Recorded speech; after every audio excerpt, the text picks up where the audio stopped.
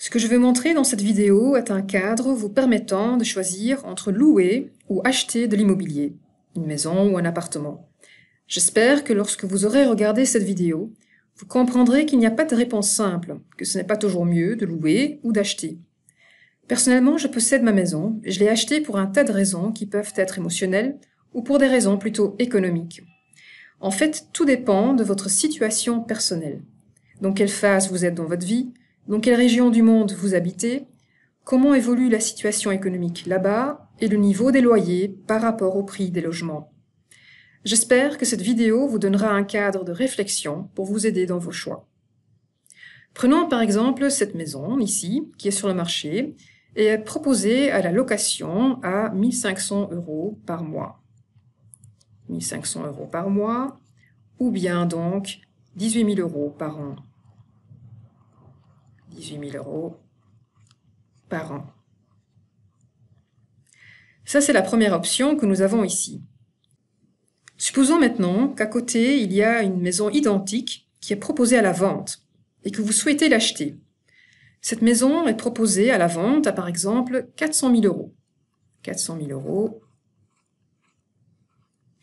Il est vraisemblable que vous n'ayez pas ces 400 000 euros et que donc vous devriez emprunter vous avez épargné 100 000 euros pour payer la compte.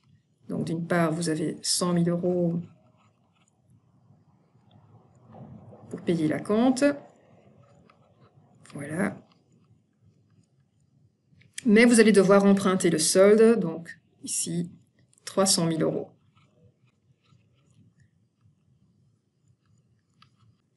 Un emprunt hypothécaire a traditionnellement une durée fixe de 15 ou 30 ans. Chaque mois, vous payez votre mensualité qui sert dans un emprunt classique à rembourser en partie le capital et une autre partie sert à payer les intérêts. Supposons par exemple que votre mensualité est de 1800 euros. 1800 euros par mois. Au début, la plus grosse partie servira à financer les intérêts, disons 1500 euros, 1500 euros d'intérêt par mois. Et les 300 euros restants serviront à payer le capital. 300 euros par mois de capital.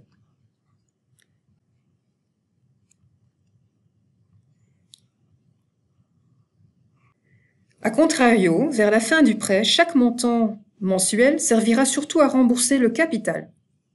Donc ceci changera à la fin de la période vers un montant où on va payer donc 1500 euros de capital. Et la partie intérêt, vu qu'il ne reste que peu de capital à rembourser, deviendra 300 euros. Et sera donc plus petite. Voilà donc comment fonctionne un crédit hypothécaire classique. Mais pour simplifier notre analyse, nous allons prendre un emprunt à taux fixe, où les intérêts sont constants et rembourseront le capital graduellement. Bien sûr, si on veut vraiment aller dans les détails, il faudrait se servir d'un fichier Excel pour tout analyser et voir l'évolution exacte de la partie variable des intérêts le long de la vie de l'emprunt, mais cela sera pour une autre vidéo. Ici, nous prenons un cas simple et supposons donc que nous avons un emprunt avec un taux fixe qui est de 6%. 6%. Et ceci est un exemple car le taux peut évoluer en fonction du marché des taux et être très bas, de 1%, ou être plus élevé, à 10% par exemple. Mais donc ici, prenons 6%. Ceci veut dire que sur une base annuelle, on va payer 6% de 300 000 de l'emprunt, donc c'est-à-dire 18 000 euros d'intérêt. Donc c'est 6% des 300 000 euros. Et ici aussi, selon le lieu où vous habitez et le montant de vos revenus, il est vraisemblable que vous puissiez déduire ces intérêts de vos revenus, qu'il y ait donc une déductibilité fiscale. Une déductibilité fiscale. Bien sûr, vous ne ferez pas rembourser l'entièreté des 18 000 euros d'intérêts, mais imaginons que vous gagnez 100 000 euros par an. Au lieu de payer 33% d'impôts sur ces 100 000 euros, vous allez payer des impôts sur 100 000 euros, moins les 18 000 euros d'intérêt sur votre prêt hypothécaire. votre revenu taxable n'est plus les 100 000 euros, mais bien 82 000 euros, soit 100 000 moins les 18 000. Vous allez alors économiser de l'argent car vous allez payer moins d'impôts. Imaginons qu'après déduction de cette économie d'impôts, c'est-à-dire 18 000 fois 33% cela fait plus ou moins 6 000 euros. 6 000 euros.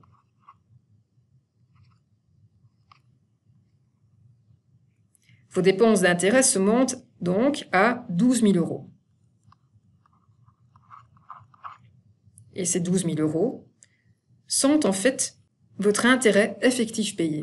Donc intérêt effectif payé.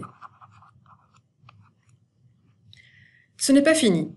Nous savons qu'être propriétaire de sa maison entraîne des frais. Il faut souvent payer des taxes foncières ou un précompte mobilier.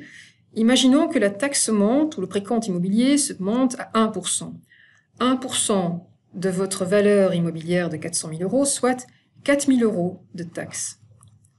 4 000 euros de taxes. Vous devez aussi, bien entendu, entretenir la maison. Peut-être devrez-vous faire appel à un jardinier, repeindre, toutes des choses que vous ne payerez pas si vous étiez locataire. Supposons que ces frais d'entretien se montent à 2000 euros par an. 2000 euros, 2000 euros de frais d'entretien. Ainsi, nous voyons déjà quelques différences. Si vous louez pour 18 000 euros par an, ceci est-ce que vous payez effectivement? C'est ce que vous devez payer pour pouvoir vivre dans la maison.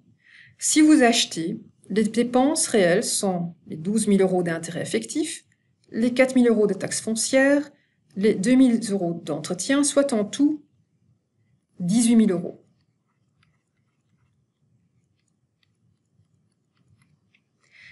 Dans ce cas ici, 18 000 euros avec les hypothèses utilisées, bien sûr. Dans cet exemple, louer ou acheter résulte donc dans les mêmes dépenses mensuelles effectives de 18 000 euros. Mais ce n'est pas encore fini. Nous n'avons pas encore parlé de nos 100 000 euros utilisés pour payer la compte. Dans le cas de l'achat, nous avons dû utiliser ces 100 000 euros. Mais si nous louons, nous avons toujours nos 100 000 euros qui peuvent être investis et rapporter un rendement qui dépendra de ce qu'on fait comme investissement donc 100 000 euros.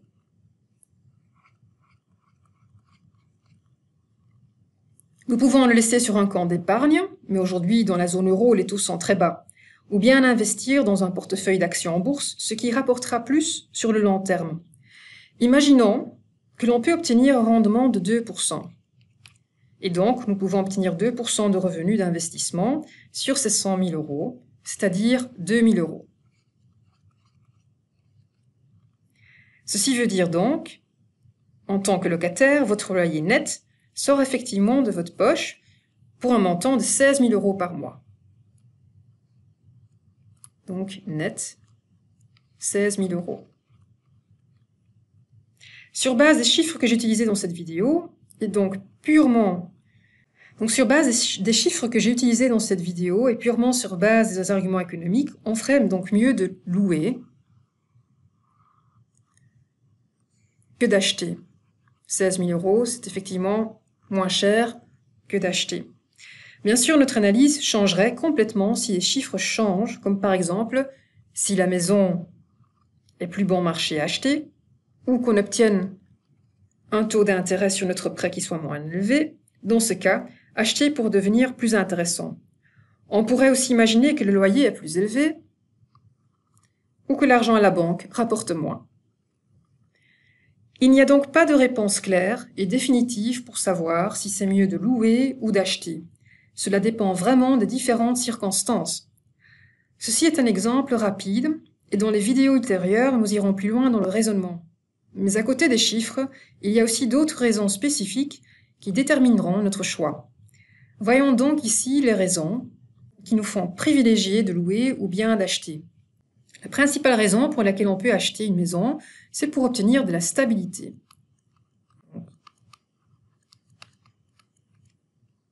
Cela donne de la stabilité de posséder le bien immobilier.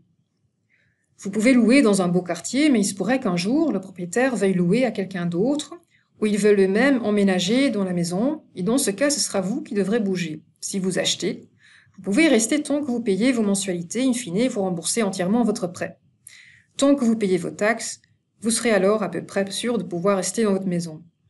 Une autre raison d'acheter est que les loyers peuvent être imprévisibles. Les loyers peuvent effectivement monter. Surtout si vous êtes dans un quartier ou une ville très prisée comme Paris, Bruxelles, Amsterdam ou Montréal. Dans ce cas, il est réconfortant de se dire que l'on peut emprunter à un taux fixe et qu'une fois l'emprunt remboursé, on ne doit pas se soucier de loyer en hausse à cause de l'économie ou de l'attractivité du quartier. Encore autre chose, et ceci n'est pas une liste exhaustive, si vous êtes propriétaire, vous pouvez aussi rénover. Rénover ou qui donc améliorer, embellir votre maison à votre guise. Mais ces facteurs intangibles ne plaident pas toujours pour l'achat. Être locataire peut aussi se justifier. Effectivement, vous ne voulez peut-être pas vous engager à long terme sans d'abord mieux connaître le quartier. Vous voulez donc bénéficier de la flexibilité que seule la location peut vous apporter. Donc, l'une des avantages louer, c'est effectivement la flexibilité que la location peut vous offrir. Par ailleurs, les prix des maisons peuvent aussi être trop élevés, comme nous avons connu dans la passée, par exemple en 2003-2008, des bulles immobilières ont poussé les prix des maisons à des niveaux surévalués par rapport à la location. Donc il se peut qu'on ait des périodes où les prix des maisons sont trop élevés et la location vous offre de meilleures alternatives. Dans ce cas, il faut effectivement mieux attendre que les prix baissent et de louer en attendant. À nouveau, et ce sera vraiment la conclusion de cette vidéo, la réponse il faut louer ou acheter un bien immobilier dépendra du contexte. J'espère que tout ceci vous aide à réfléchir et à mieux choisir entre la location et l'achat d'un bien immobilier.